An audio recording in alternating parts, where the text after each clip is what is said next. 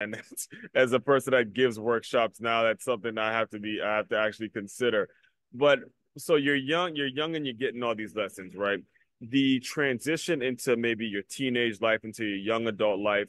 What inspired you? How were you able to manage that, given that you have this unique perspective. I, am sure you know just going to college or you know kind of doing the normal thing wasn't wasn't something that was really appealing to somebody that saw that. And how were you able to manage those maybe those expectations and that that transition? Well, believe it or not, I I have a degree from University of Victoria. My degree is in political science and international relations. Right. I ran the computer lab. We built the first Mac lab at the University of Victoria mm-hmm. in the 1980s.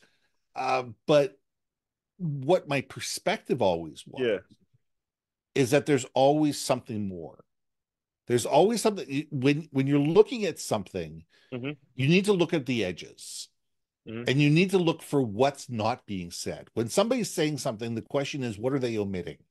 Mm-hmm. What are what is their body saying that their that their lips aren't? Mm-hmm.